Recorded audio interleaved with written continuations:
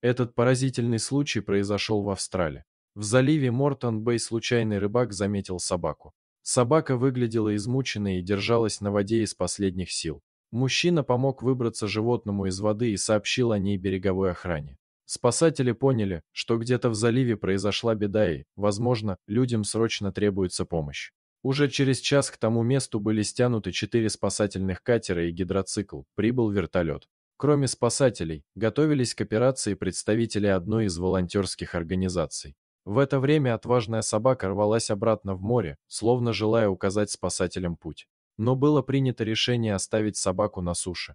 Спасатели выдвинулись в залив. Через пару часов был обнаружен 63-летний мужчина, который цеплялся за край лодки, которая практически ушла под воду.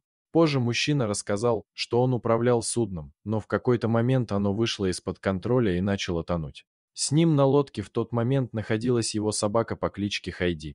В момент аварии собаку откинуло в одну сторону, мужчину в другую. С того момента он потерял из виду питомицу, но не переставал верить в то, что собака жива и поможет ему спастись. Как выяснилось, собака добиралась до берега в течение 11 часов, все это время ее хозяин также находился в воде. Собака невероятно устала, но продолжала плыть. Ее план сработал, она добралась до берега и в итоге сумела помочь своему владельцу, на помощь к которому отправились спасатели. Встреча мужчины и собаки получилась невероятно трогательной. Он обнял свою спасительницу и прижал к себе.